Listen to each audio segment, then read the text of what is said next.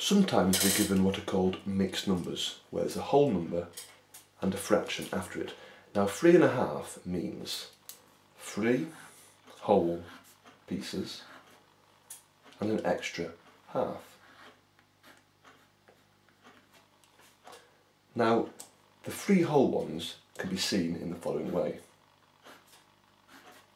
The first whole one is two halves, then another two halves, then another two halves. So altogether, there's one, two, three, four, five, six, seven. There are seven halves. So three and a half as a mixed number is the same as seven halves as a top heavy fraction. Now sometimes you're asked to convert a mixed number into a top heavy fraction. And there's a quick way of doing it.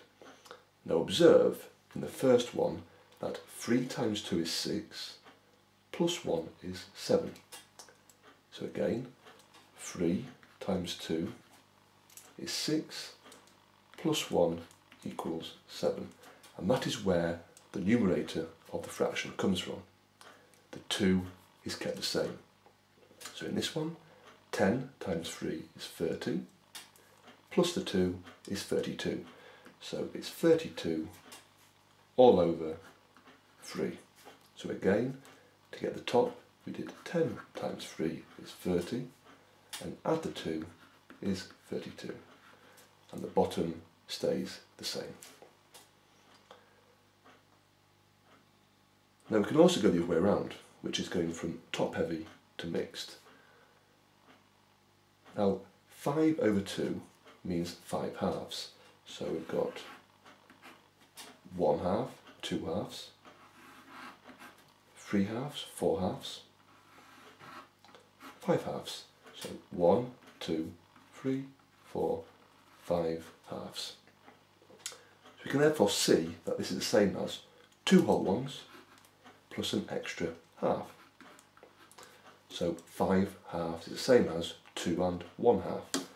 But there's a way of doing this without drawing diagrams. Observe that if we said to ourselves, how many twos are there in five?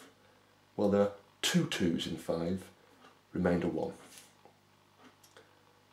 So if asked to convert this fraction into a mixed number, the question is, how many fives are there in 18? Well, 5, 10, 15. There are three fives in 18, but there's a remainder of 3. So it's 3 and 3 fifths. So we can convert from mixed to top heavy and from top heavy to mixed.